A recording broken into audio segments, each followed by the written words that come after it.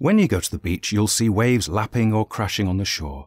Some will be constructive, whilst others will be destructive. But what's the difference?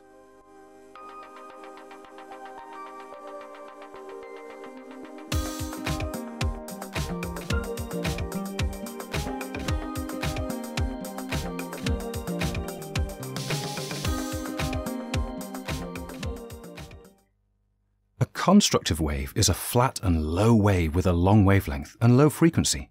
Their swash is stronger than their backwash. Constructive waves, as the name suggests, deposit and therefore construct the beach, making it larger and wider. Constructive waves are low, surging waves that spill onto the beach with a powerful swash, pushing material up onto the beach. They're formed by storms that may be hundreds of kilometers from the beach where they break. The crests of the waves are far apart, breaking six to nine times per minute. The backwash is more gentle, and they're usually found on gently sloping beaches. Let's look at some more constructive waves.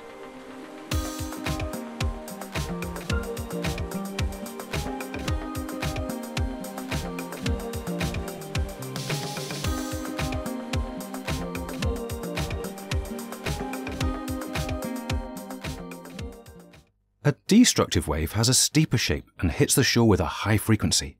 Their backwash is stronger than their swash. Destructive waves are formed when storms are close to the coast. They have frequent and closely spaced waves, breaking between 10 and 14 times per minute. They are high and steeply plunging as they reach the beach.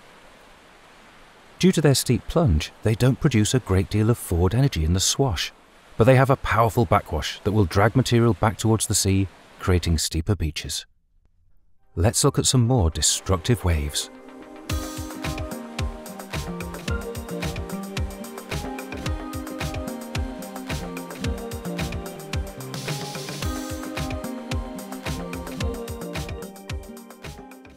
So, there you have it. The difference between constructive and destructive waves. I'll see you on the next What's the Difference? Bye for now.